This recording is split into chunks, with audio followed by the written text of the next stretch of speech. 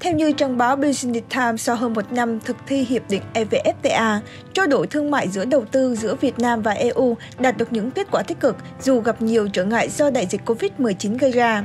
EU hiện có 2.242 dự án từ 26 trên 27 quốc gia thuộc EU còn hiệu lực tại Việt Nam.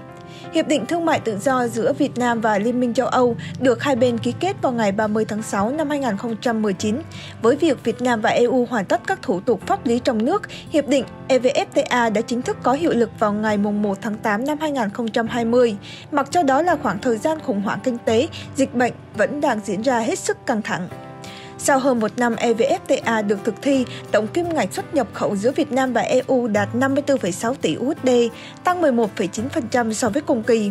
Cụ thể, trị giá xuất khẩu từ Việt Nam sang EU đạt 38,5% tỷ USD, tăng 11,3% so với cùng kỳ và trị giá nhập khẩu của nước ta từ EU là 16,2 tỷ USD, tăng 12,4% so với cùng kỳ. Cán cân thương mại thẳng dư là 22,3 tỷ USD. Chỉ trong 8 tháng đầu năm 2021, trao đổi thương mại hàng hóa của Việt Nam với EU đạt 36,87 tỷ USD, kim ngạch xuất khẩu đạt 25,81 tỷ USD, tăng 13,5% so với cùng kỳ năm 2020, bất chấp khủng hoảng trong khi đó, kim ngạch nhập khẩu từ thị trường EU đạt 11,06 tỷ USD, tăng 18,2%. Đặc biệt nhất là nguồn vốn FDI chảy từ EU và Việt Nam. Tính đến tháng 9 năm 2021, EU có 2.242 dự án, tăng 164 dự án so với cùng kỳ năm 2020, từ 26 trên 27 quốc gia thuộc EU còn hiệu lực tại Việt Nam, với vốn đầu tư đăng ký đạt 22,24 tỷ USD, tăng 483 triệu USD so với cùng kỳ năm 2020 chiếm 5,58% tổng vốn đầu tư đăng ký của các nước và vùng lãnh thổ vào Việt Nam và chiếm 6,57% số dự án. Nguồn vốn đầu tư vào Việt Nam từ các doanh nghiệp châu Âu sẽ còn gia tăng đáng kể trong thời gian tới, đặc biệt khi cả thế giới dần quay trở lại bình thường mới để phục hồi kinh tế.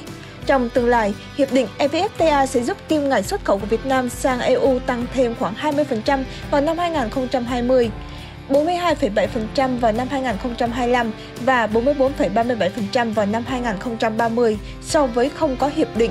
Đồng thời, kim ngạch nhập khẩu từ EU cũng tăng nhưng với tốc độ thấp hơn xuất khẩu, cụ thể là khoảng 15,28% vào năm 2020, 33,06% vào năm 2025 và 36,7% vào năm 2030.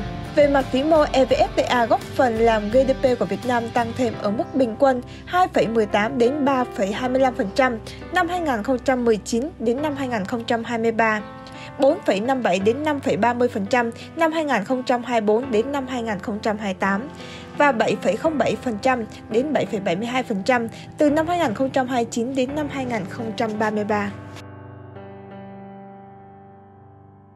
Cảm ơn quý vị và các bạn đã lắng nghe và theo dõi. Hãy like và subscribe kênh của chúng tôi để tiếp tục theo dõi những bài tiếp theo nhé.